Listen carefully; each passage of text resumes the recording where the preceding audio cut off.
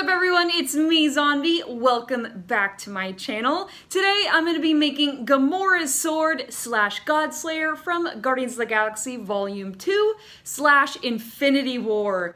Yes! I am so excited to finally have this done. As you may know, this is my second time making this sword, and I'm happy to say it went much smoother the second time around. I'm much happier with it, and I was able to make it in just a few hours with about $25 worth of material. So if you're interested in making your own God Slayer, or if you're just curious to see how I made this thing, then keep on watching. First I drew a pattern for this sword. I used some brown paper, pencils, and markers to sketch the shape that I wanted. Looking at the reference photos and photos of Gamora holding the sword helped me get an approximate size. Next, I transferred the pattern onto two pieces of MDF board. I glued them together with barge and cut out the shape on a bandsaw. If you don't have a bandsaw, you could use a handsaw or a disc rotary tool, but it would take a lot longer. I also used the bandsaw to cut the holes in the middle as well. Then I sanded down the edges to make them nice and neat. To add all the fancy details onto Godslayer, I used the reference images again and sketched out all the indented details with a marker. This was tedious, but it made it a lot easier to do the next step. I used a detail bit on my rotary tool and etched in all the details. By the way, I don't suggest sanding or using a rotary tool on MDF inside. It gets everywhere. Also, make sure you're using a respirator at all times when sanding it because it gets really dusty and dirty. I carved a piece of foam and glued it to both sides of the sword for those two final details. I did the same thing for the little groove on the handle. Now it's time to prime. I'm using automotive filler primer and generously coating the sword with it.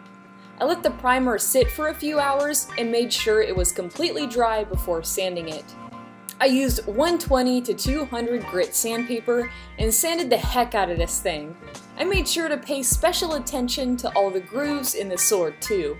Once it was sanded, I applied another coat of filler primer and repeated sanding until I was satisfied with how smooth it was. Now it's time for a glossy black paint.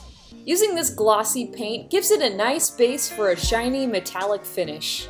I applied two coats of the glossy black and allowed it to dry before using this metallic. I used this weathered metallic color and applied two coats of this paint to let it dry before adding some weathering colors. I used a combination of light browns, dark browns, and black to apply a wash over the sword. I moved around the colors into the grooves using a brush. To remove paint in places where I thought it was too heavy, I just used a paper towel. Now I'm going to brighten this up a bit. I'm using some of my favorite stuff ever, Rub and Buff. I only had to use a little bit of this metallic goo on a paper towel to make my sword look super shiny. And here is Gamora's sword all done. I'm happy to say it's really sturdy and really inexpensive. I was even able to make a holster for this, which ended up being super handy. I also made a Gamora costume to wear with Godslayer, so if you want to see how I made my Gamora cosplay, or if you just like cosplay in general, I hope you hit that subscribe button, because I would love to see you back. We're gonna have a good time here making Gamora. Yeah.